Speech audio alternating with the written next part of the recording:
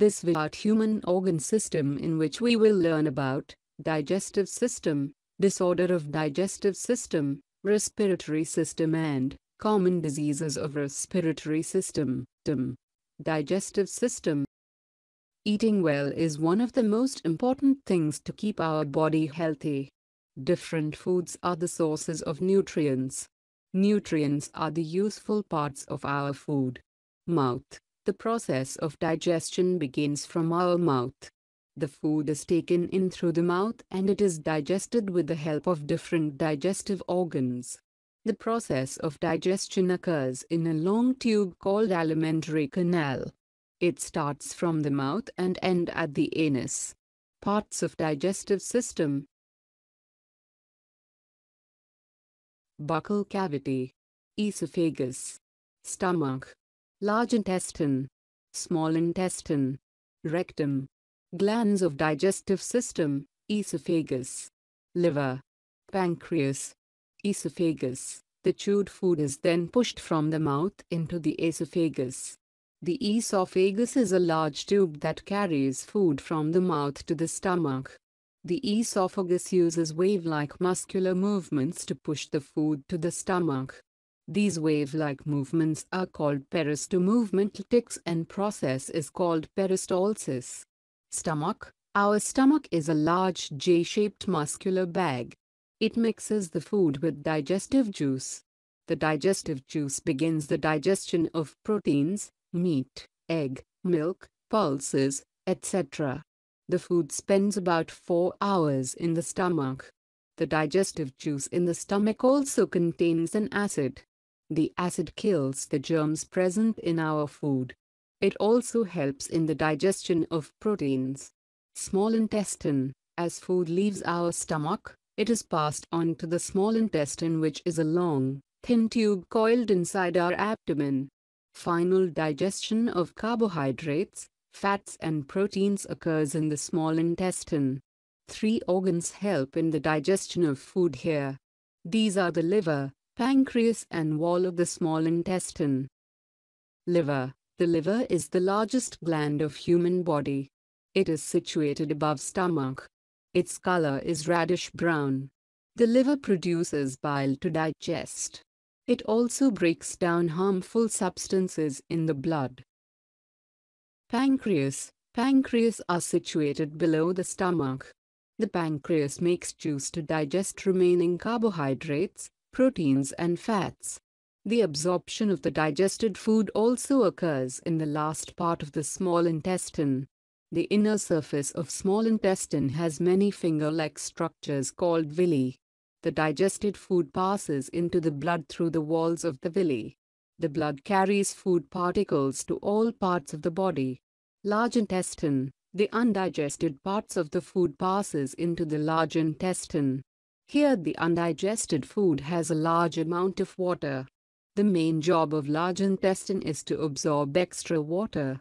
The undigested food becomes solid and is called feces.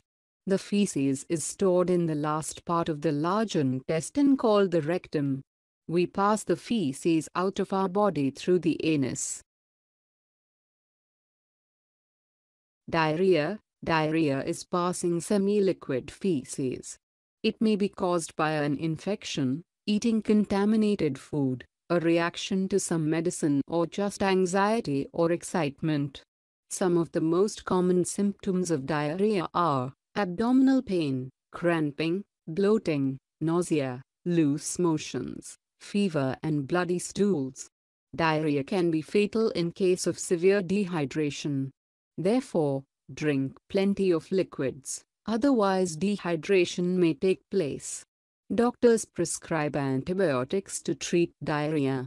We can prevent diarrhea by following the tips given. Always wash your hands with soap after using the toilet. Wash all fruits and vegetables before cooking or eating. Don't eat uncooked meat and eggs. Constipation Constipation is the painful or difficult passing of feces. During the period of constipation some persons may pass feces three or less than three times a week. It is a common digestive disorder in Pakistan. Constipation is caused by taking food low in fiber, lack of physical activity, not drinking enough water, delay in going to the washroom, etc. We can avoid constipation by adopting a proper lifestyle, taking regular exercise, eating lots of fiber food, fruit, vegetables and cereals, drinking plenty of water, at least 8 glasses every day, going to the washroom when we have the urge.